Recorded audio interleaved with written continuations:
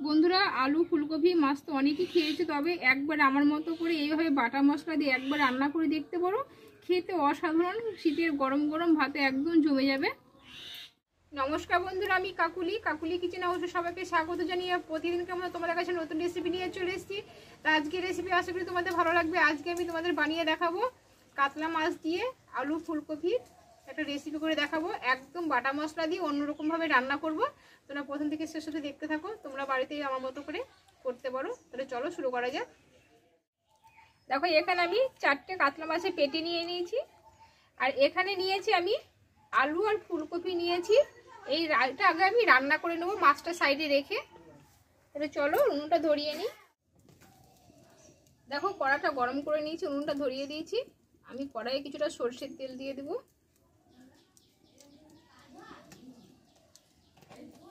দেখো গরম হয়ে গেছে। এবার আমি এই তেলে আমি কেটে ধুয়ে রাখা আলুগুলো কষে নেব। আর একটু আমি হলুদ গুঁড়ো দিয়ে দেবো। দিয়ে আলুটা আমি অল্প আছে, ধীরে ধীরে একটু কষে নেব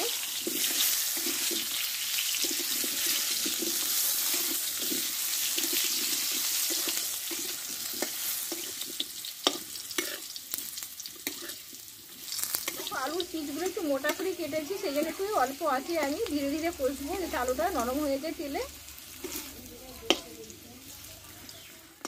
দেখো, আলুটা কষা হয়ে গেছে, তেল থেকে আমি তুলে নিব। এই তেলে ফুলকপিগুলো কষে নেব।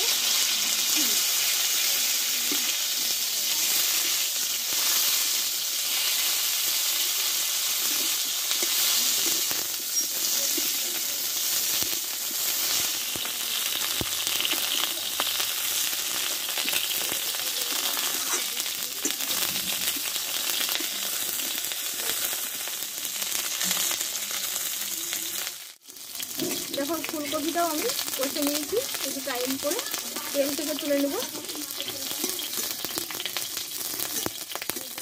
দেখো, এই কড়াইয়ে আমি আর একটু সর্ষের তেল দিয়ে দেবো।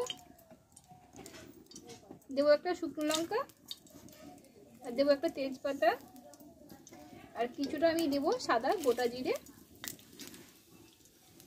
ফোড়নটা একটু কালারটা চেঞ্জ হয়ে যাবে। এবার আমি এখানে কিছুটা আমি পেঁয়াজ কেটে রেখেছি, একটা মিডিয়াম সাইজের পেঁয়াজটা আমি দিয়ে দেবো।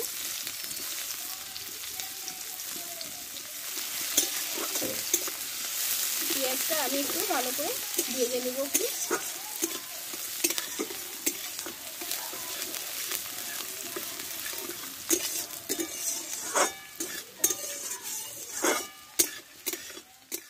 পেঁয়াজটা ভেজে নিয়েছি, এখানে একটা টমেটো আর কেটে রেখেছিলাম, দিয়ে দেবো টমেটোটা।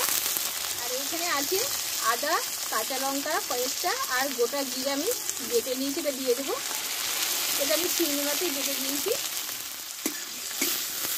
দিয়ে ভালোভাবে কষে নেব।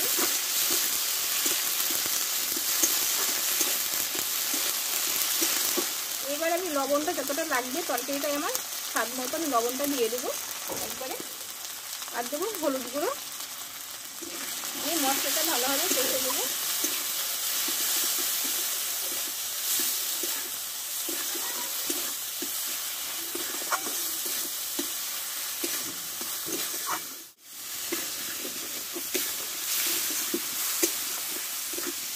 দেখো মশলা থেকে তেলটা ছেড়ে দিয়েছে। আমি টাইম করে ভালোভাবে কষে নিয়েছি। এবার কষে রাখা ফুলকপি, আলুগুলো আমি একটু ঢেলে দেবো। একসঙ্গে মশলার সঙ্গে একটু ভালোভাবে কষে নেব।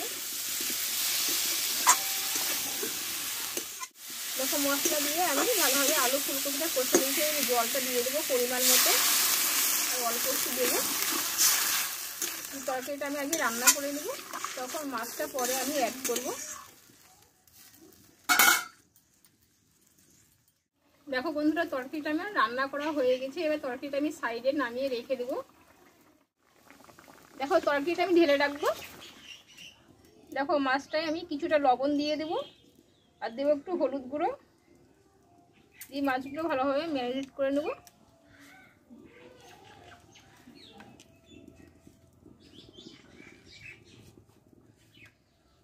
দেখো, কড়াটা পোষে করে ধুয়ে আমি গরম করে নিয়েছি। কড়াইয়ে দিয়ে দেবো সরষের তেল। এবার মাছগুলোকে ভেজে নেব।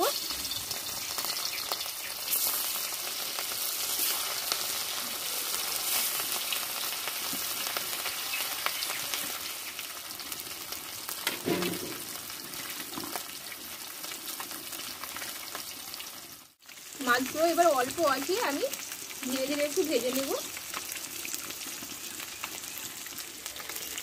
দেখো মাছগুলো আমি এক পিস ভেজে নিয়েছি, এবার উল্টিয়ে দেবো।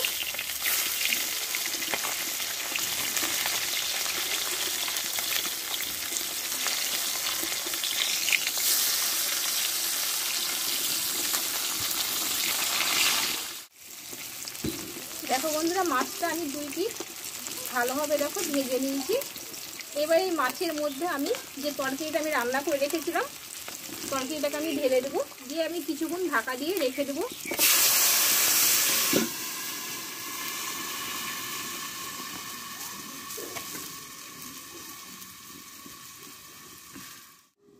দেখো, এবার ঢাকনাটা আমি তুলে নেব। এবার কিছুক্ষণ আমি রান্নাটা করে নেব।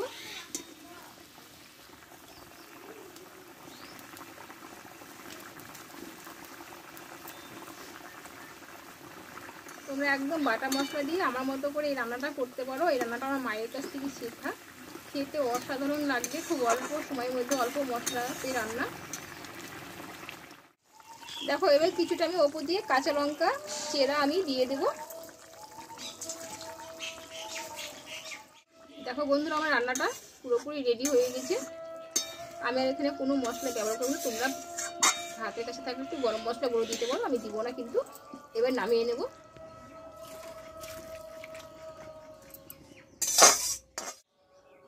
তাহলে বন্ধুরা, আমার বাটা মশলা দিয়ে কাতলা মাছের ফুলকপি আলুর রেসিপিটা হয়ে গেল। খুব অল্প সময়ের মধ্যে এভাবে একবার তোমরা রান্না করে দেখতে পারো, খেতে অসাধারণ লাগে। তা কেমন লেগেছে রান্নাটা, অবশ্যই কমেন্ট করে তোমরা জানাইও। আর যে যেখান থেকেই দেখো না এখন একটা লাইক দিয়ে দিও।